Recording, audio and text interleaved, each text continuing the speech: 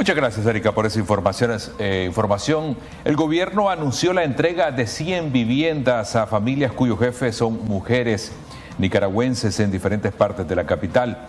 El anuncio emitido por la vicemandataria de Nicaragua, Rosario Murillo, en su acostumbrada intervención en los medios oficialistas, también aseguró que el gobierno se prepara para el 8 de marzo con una agenda completa para conmemorar el Día Internacional de la Mujer en el país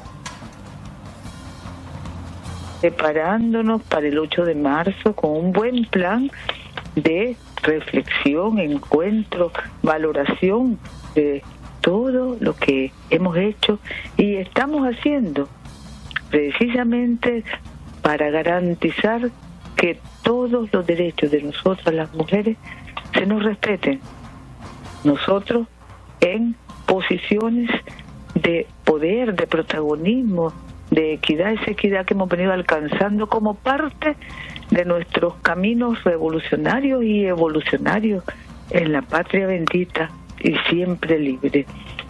Estamos celebrando el Día de las Mujeres, entregando viviendas. Aquí en Managua se van a entregar 100 nuevas viviendas del programa Bismarck Martínez a familias cuyos jefes son mujeres y es en la urbanización Flor de Pino, en Carretera Norte, Distrito